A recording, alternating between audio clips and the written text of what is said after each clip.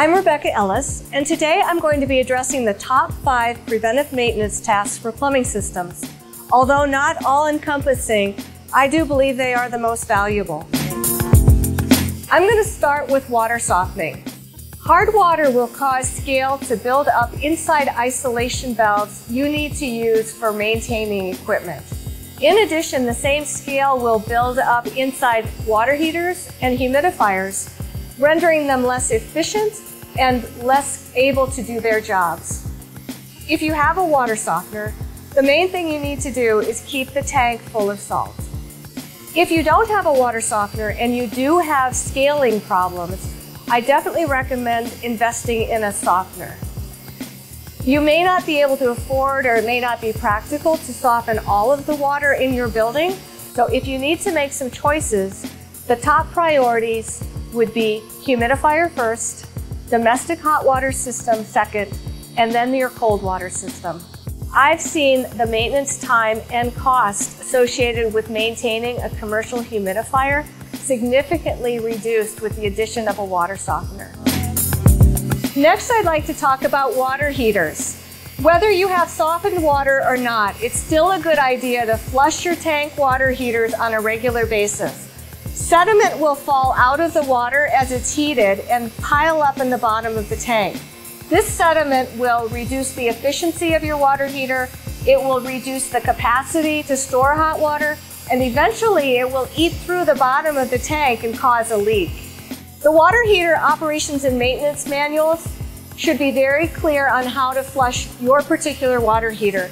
Be sure to follow those instructions. When you have more than one water heater lined up in parallel like we do here, you'll want to do one water heater at a time, closing the isolation valve on the other so that you're not dumping all three water heaters at the same time.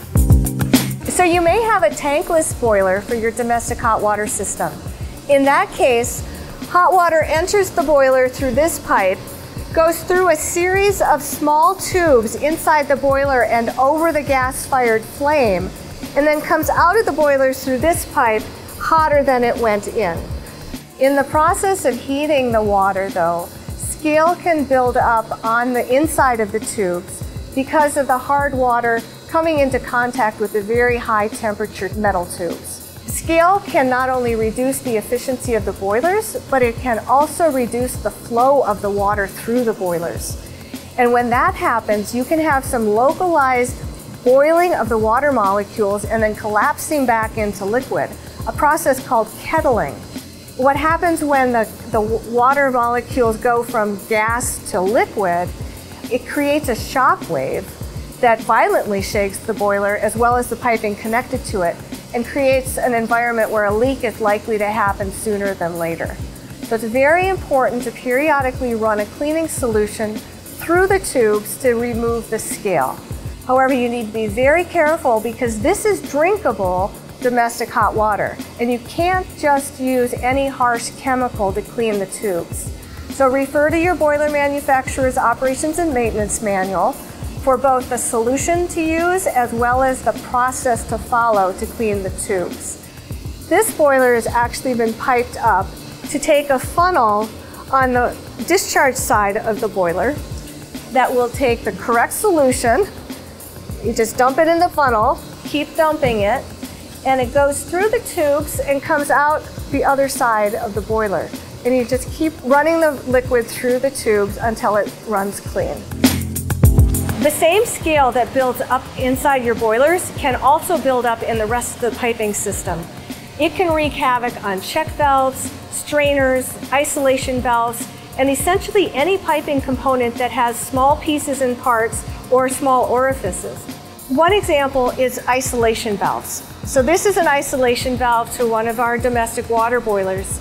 The isolation valve is here to stop flow through the boilers when the boiler needs to be maintained, but you still want to have domestic water service to the building. If these valves don't close fully, you won't be able to achieve that. You'd have to shut down your whole domestic water system just to service the boiler. If you also have some valves that are closed most of the time and you open them periodically for maybe seasonal or special operations, If you let them sit for a long time, scale could build up to the point where you can't even open it. And that also defeats the purpose of having the valve. I recommend that you exercise isolation valves at least once a year from being closed to open, back to closed, and maybe cycle it three or four times because not only will it ensure that that valve is seeing the full motion, it'll also help break off any scale that started to collect on it. And if you have particularly hard water, you may need to do that more frequently. It's not just isolation valves and equipment that need to be exercised regularly. In plumbing systems, especially large facilities, it's desirable to be able to isolate certain sections of piping for service while maintaining water delivery to the rest of the building.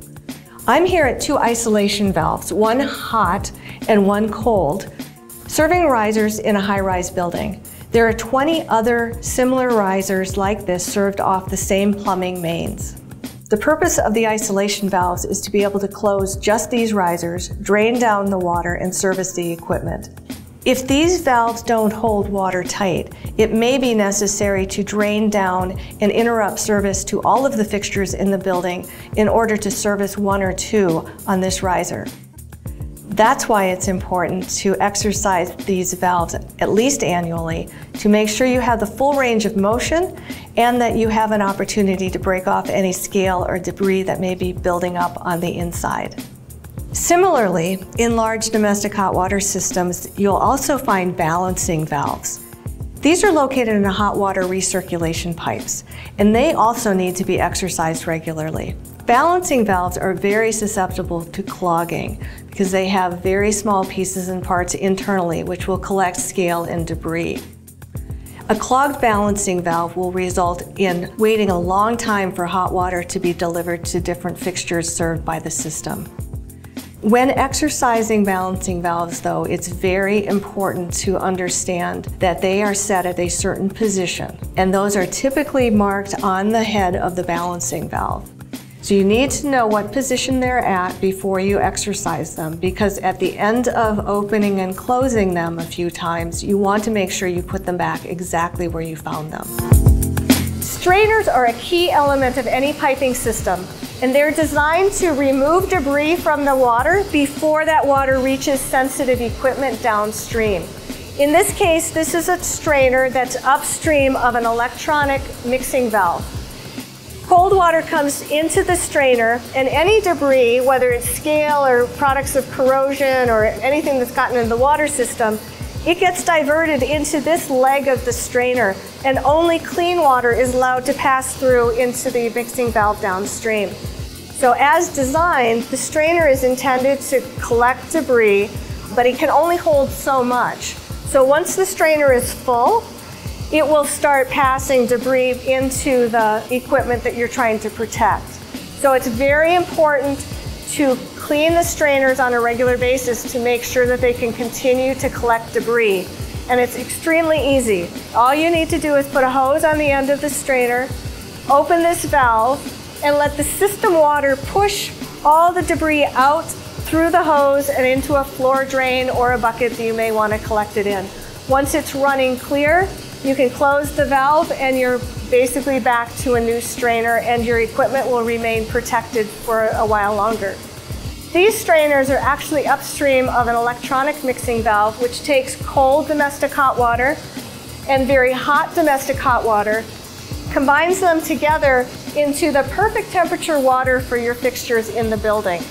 So that's very sensitive equipment and that's why both the hot and the cold water coming into the mixing valves have strainers. You may be more familiar with an old-fashioned mechanical thermostatic mixing valve in your building, and those are just as sensitive to debris, so even they need a strainer on every pipe going into them. If your domestic hot water system has a heat exchanger, especially a plate and frame heat exchanger like we see here, they'll be very susceptible to clogging. And that's because the plate and frame heat exchanger inside this box is a series of parallel metal plates that are very close to each other with channels through which the two water streams pass. Heating hot water flows one direction, the domestic water flows the other, and heat transfers between one and the other. It's in those little channels between the plates that scale and debris can build up and cause clogging. And a clogged heat exchanger is a useless heat exchanger. If this heat exchanger were to clog up, it would cause both domestic hot water flow and temperature control problems. It's very important to back flush these heat exchangers on a regular basis. But to do that without having to shut down your entire domestic hot water system, you'll need to have a good set of isolation valves and drain valves at every piping connection to the heat exchanger. And through a series of positioning isolation valves, opening drains, and letting water flow through the heat exchangers, you can remove that scale as it builds up.